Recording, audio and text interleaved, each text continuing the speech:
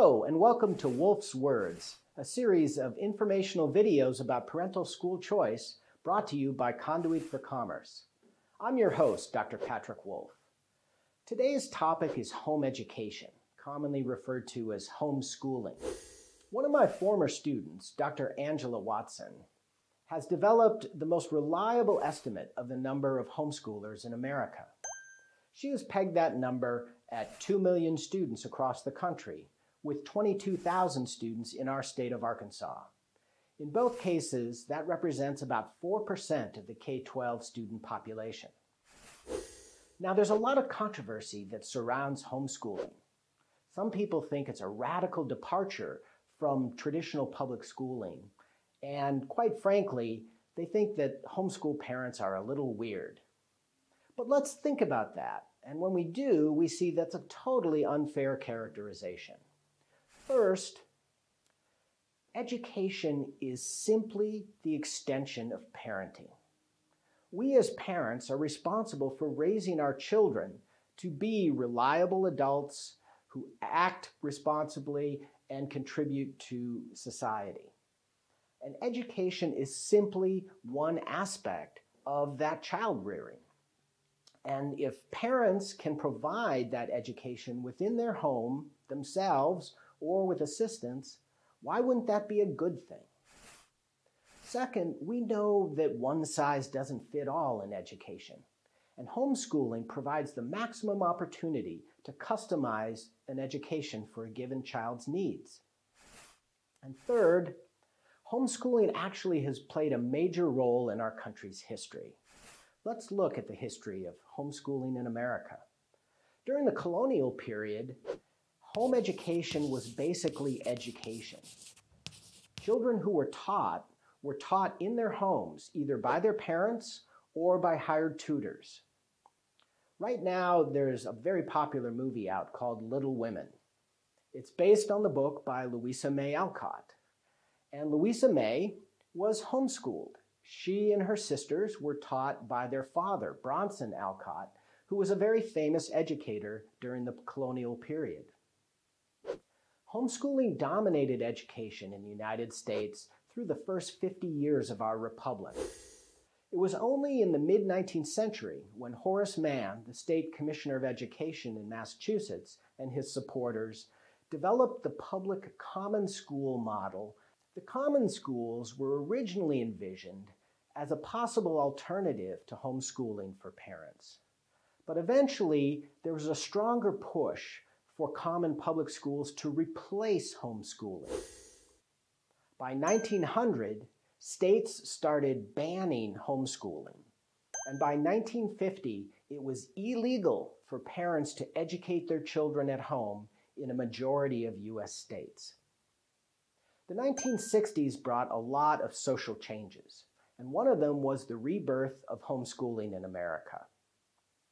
It really caught fire in the 1970s and 80s, and by 1993, homeschooling was legal again in all 50 states plus the District of Columbia. So why do families educate their children at home? Surveys suggest there are five main reasons. The single most popular reason for families homeschooling is that parents want to inculcate their children with a strong core set of values.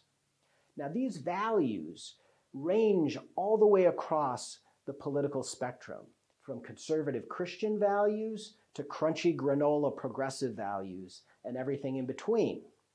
The important thing is parents want to share their value system with their children during their formative years, and homeschooling gives them a prime option to do so. The second major reason that families homeschool is to deliver a specific pedagogy or curricular emphasis to their child that they think is going to be the most effective way to educate them. The third reason is for children to escape bullying, violence, and drugs in their local public schools, which too often are a scourge. The fourth reason why parents often homeschool is to educate a child with disabilities. Some children with disabilities are very sensitive to their surroundings and feel uncomfortable and intimidated. So, where are they going to feel the most relaxed and comfortable? In their own home. That's why many homeschool families educate their children with disabilities in the home so that the children can be relaxed and open to the learning available to them. The fifth and final reason why many families homeschool is the flexibility it provides to the family and the student, which is especially important for young athletes and budding celebrities. They travel a lot to advance their career and their craft, and so they wouldn't be able to attend brick and mortar public or private schools on a regular basis. Homeschooling gives them a chance to learn on the go. This was evident a week ago when Billie Eilish became the youngest woman to win the Top Vocalist Award in, at the Grammys. And you guessed it, Billie and her brother were homeschooled their entire lives.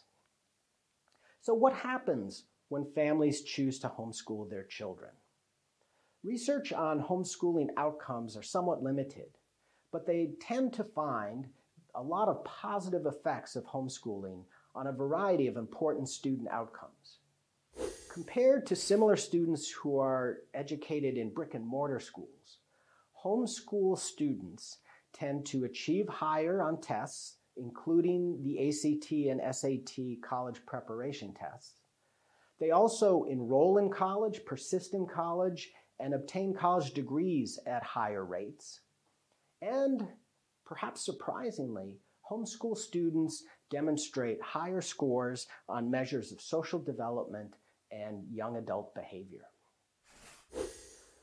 So, in the interest of full disclosure, I have to tell you that my wife and I homeschooled one of our children. Why did we only homeschool one of our children? Well, the reason was we loved him more. Okay, that was a joke.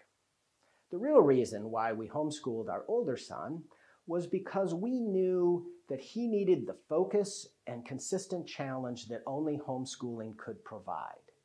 And our homeschooling experience was a great success with Alex, who now is a second year law student at a prestigious law school, and heck, he may even pursue education law as his specialty. Those are my Wolf's words for this episode, and please join me for the accompanying piece where I will be interviewing a wonderful homeschool family from Northwest Arkansas.